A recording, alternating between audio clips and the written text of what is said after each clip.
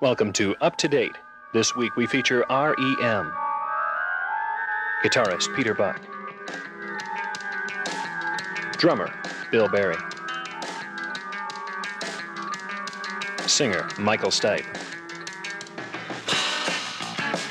And bassist Mike Mills. REM began in 1980 practicing in a converted church in Athens, Georgia. They have since become one of America's best known bands and the leaders of a new musical movement. Peter Buck and Mike Mills explain how the band was formed. Being a short history on the derivation of a pop band, um, all it took was a party. We just uh, decided to play for a party and have some fun. Uh, you know, wrote ten songs, wrote ten songs, got ten covers, and uh, played for a friend of ours' birthday party. They released their first single, Radio Free Europe, in 1981, and the five song EP Chronic Town in 1982, both with critical acclaim. Michael Stipe talks about recording Chronic Town. We recorded the entire EP in two days, and it was, you know, completely recorded, mixed, everything in 48 hours for the most part. And being fairly new in the studio, um, we really didn't have much of an idea what we were doing. Working with Mitch Easter helped out a lot. He's an incredible producer and swinger.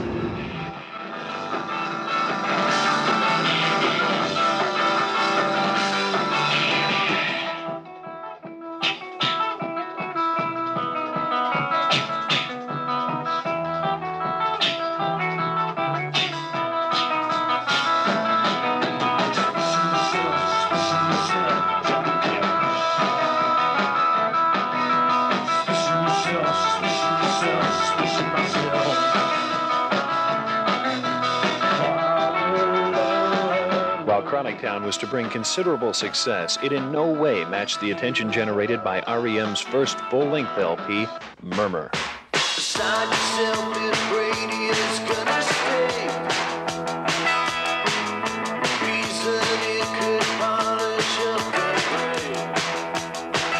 Murmur was the record that brought REM to the forefront of the American music scene.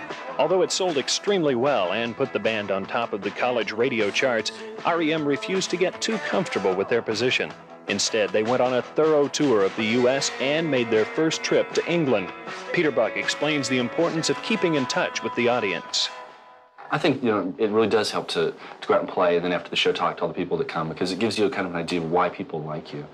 And I think a lot of bands kind of lose it somewhere, sometimes third or fourth, fifth album, because they tend to forget what they're good at and why. You know, they get all these great great reviews. It's like, well, gee, we're oh. geniuses. Let's make an art record, you know. And you know, you should keep the, the creativity and the, the art part, you know, in the front. But you know, you got to remember, it's fun, and when it boils down to it, at the end of the day, it's a piece of black plastic this big.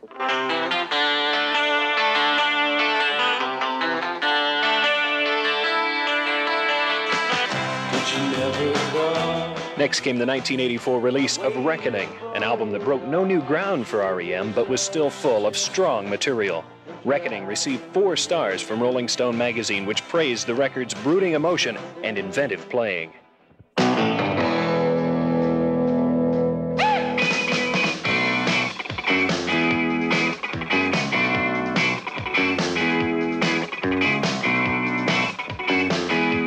Fables of the Reconstruction, REM used a new producer, Joe Boyd. Boyd was a natural choice since he had previously produced Richard Thompson, an early influence of the band.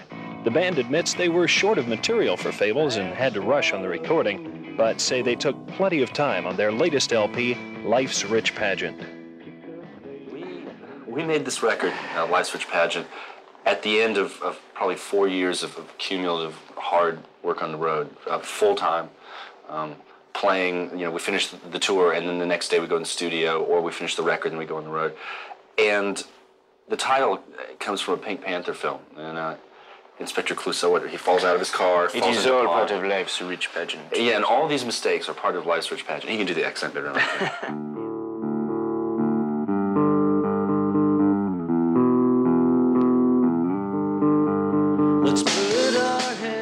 Life's Rich Pageant is more socially aware than their past records. Michael Stipe's lyrics deal with pollution and acid rain. Peter Buck describes the change. we, we, Michael felt that this year he wanted to say a few things that were a little bit more um, Pertinent. pertinent, pertinent to the world, as opposed to to writing more. Uh, I hate to use this word, but it's not negative, solipsistic way. I mean, the world doesn't revolve around us, and we know that. But it's easier to express yourself personally rather than express yourself about you know Red China or Russia. It just I think this year was a good year to maybe question a few things because it's it's nobody seems to be doing it. You know, why are we sending arms to uh, you know South America? What, aid to the Contras? Why?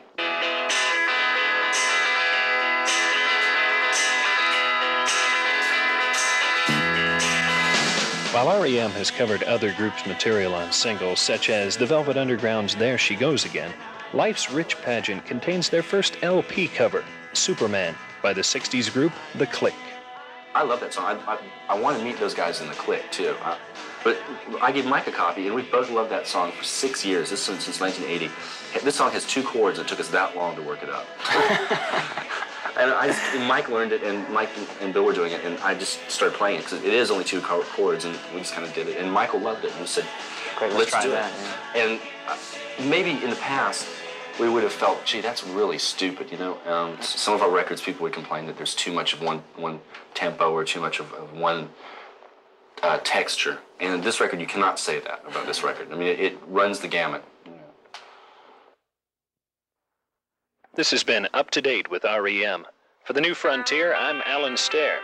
We leave you with REM's latest video, Fall on Me. There's a problem